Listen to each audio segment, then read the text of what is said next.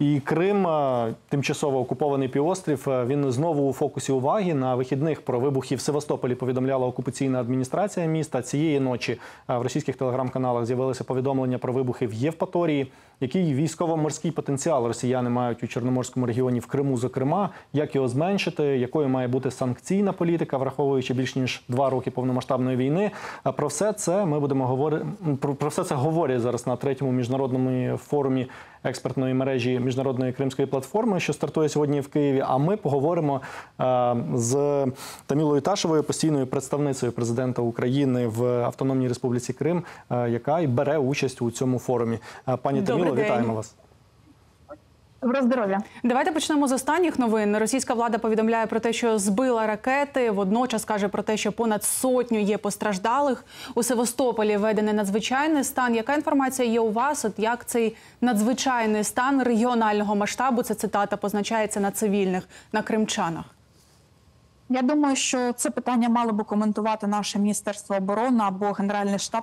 Давайте поговоримо на тему, на яку мене ви мене покликали. Давайте, Давайте добре, говорити так. Ми про форум анонсували. Одна із тем е, це напрацювати рішення щодо подальшого зниження російського військово-морського потенціалу. От ми коли прочитали оголошення про форум, там це цитата звідти, е, які можуть бути рішення щодо подальшого зниження російського військово-морського потенціалу в Криму в Криму, окрім як військового. Ви будете сьогодні це обговорювати на форумі? Чи є якісь альтернативи? Власне, варто зауважити, що експертна мережа Кримської платформи вона дійсно діє починаючи з 2021 року, коли президент України ініціював Кримську платформу створення Кримської платформи. І, власне, сьогодні ми проводимо третій форум експертної мережі. Е, не лише в Україні він проходив, а й за кордоном, в тому числі. Одне з питань це дійсно питання.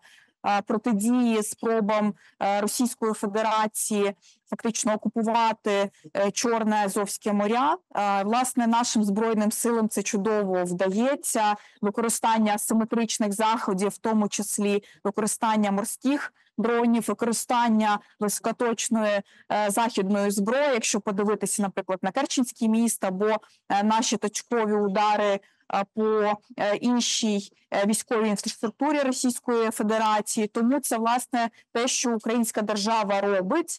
Е, Це роблять, звісно, що не е, експерти, але е, наші збройні сили е, це добре роблять. Власне, що дуже важливо говорити, що е, в силу того, що ми розблоковуємо власне е, Чорне море, Азовське моря, то в нас є можливість постачання.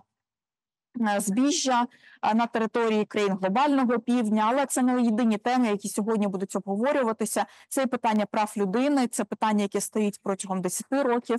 Це питання е, накладання санкцій на країну агресора, в тому числі у зв'язку як з обходом деякими е, приватними компаніями тих санкцій, які накладалися починаючи е, з 2014 року, так і в тому числі це е, використання Кримського півострову як такої великої військової бази і виробл- і вироблення в тому числі різних військових матеріалів, в тому числі дронів, і на території півострова. Да? Тому це буде окрема тема обговорення. Це питання, яке стосується притягнення до відповідальності винних за міжнародні злочини. Це одна з тем обговорень під час експертного форуму Кримської е, платформи. У форумі беруть участь представники понад 15 країн, і, зокрема, довгий час Росія мілітаризовувала Крим, як ви зараз зазначили, але подаючи це під соусом також курортного півострову, роздаючи путівки, також своїм представникам,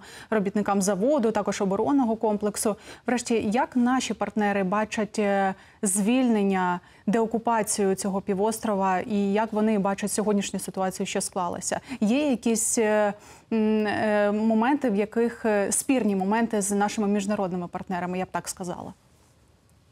Я не можу говорити від імені експертів, бо я представляю державний орган за нашим досвідом. Ви спілкуєтеся з е, ними власне, також. Так, е, власне, за нашим досвідом спілкування, як з експертним середовищем, так і з політиками, вони стоять абсолютно на тих самих принципах, що і українська держава, і власне це було закладено і в е, формулу миру, е, запропоновану українською державою, базовану на статуті ООН. Це непорушність власне кордонів.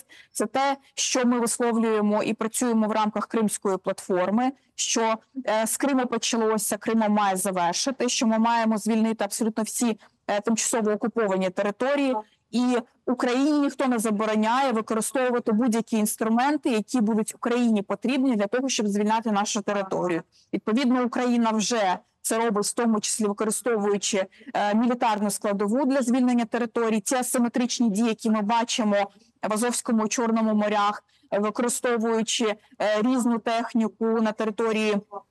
Власне, військових різних об'єктів на території півострову, починаючи з 22-го року, е, це чудово демонструють. Е, Тому ми дуже дякуємо нашим міжнародним партнерам за всю підтримку, яку вони дають. В першу чергу, звісно, що я говорю про військову підтримку. Тому жодних обмежень нам ніхто не говорить, як ми маємо звільняти. Але питання в тому числі стоїть, яким чином ми будемо реінтегровувати територію тимчасово окупованого Кримського півострову. Це теж одна з тем, яка буде обговорюватися під час цього експертного форуму, тому що дуже важливо, як нашим громадянам в Криму давати конкретний сигнал щодо того, як Крим буде виглядати після звільнення його фізичного, так і в тому числі говорити про це з нашими міжнародними партнерами, е, тому що вони мають розуміти, а як же Україна бачить майбутнє звільненого Криму. Саме тому, коли вони будуть бачити і цей чіткий план української держави, ми зможемо отримувати більшу підтримку як на політичному рівні, так і звісно, що економічному і мілітарному. Е, Пані пані Таміла, я пам'ятаю, минулого року ми з вами мали ефір. і Була ініціатива, яку ми з вами обговорювали від е, адміністрації Кримського півострову, від адміністрації, яка ну на нашій е, території знаходиться, про набір е, на вакантні посади в майбутньому звільненому Криму е, людей, е, які би працювали там на адміністративних чиновницьких посадах. Е, Чим завершилася ця ініціатива? Чи вона тримає? Тому що це ж теж розмова е, про е, майбутнє е, деокупації Криму. Дякую дуже за запитання. Власне, ми продовжуємо цю програму у 23-му році. Ми дійсно ініціювали створення кадрового резерву для осіб, які будуть їхати на, на деокуповану територію, працювати на ній. Е, Ми створили ряд е, таких академічних програм зараз на базі університету Шевченка, на базі міжнародного інституту менеджменту. Це така більше, знаєте, ланка управлінська. Е, Зараз на базі університету Каразіна ми сподіваємося запустити так само програму цю. Тому туди пішли слухачі вчитися. Е, Це дуже важливо. Е, До кадрового резерву подаються люди. Це вже тисячі осіб, які подалися до кадрового резерву. І звісно, що ми сподіваємось, е, що завдяки підтримці медіа така інформація буде поширюватися. Її люди будуть чути і відповідно подаватися так само до цього кадрового резерву. Ми розуміємо, що потреби є величезні, як я вам говорила і минулого разу, що лише для Кримського півострову це е, біля 50 тисяч осіб, які потрібні е, на звільнених територіях працювати в органах публічної влади, в різного роду державних інституціях. Е, Для інших окупованих територій е, ця потреба теж є дуже велика. Тому ми сподіваємось, що наші громадяни будуть відчувати цей такий, знаєте, е, громадянський обов'язок певний пропрацювати на деокупованих територіях, допомогти українській державі відновити е, на цій території урядування і нормальне життя на цій території для наших громадян. От сьогодні американський інститут вивчення війни повідомив про те, що в Криму посилюють е, встановлення військових об'єктів е, в цивільних районах. Хочеться запитати вас, наскільки це масове явище? Ну і враховуючи це, наскільки збільшується тиск на цивільних, на звичайних кримчан, які все ще чекають Україну? На жаль, це так. Дійсно, Російська Федерація, порушуючи норми міжнародного гуманітарного права, розташовує свої військові об'єкти у достатньо такій щільній е, цивільній інфраструктурі, е, забудові. Вони це так само роблять на території е, рекреаційних різного роду. Зон тому так це дійсно порушення МГП міжнародного гуманітарного права.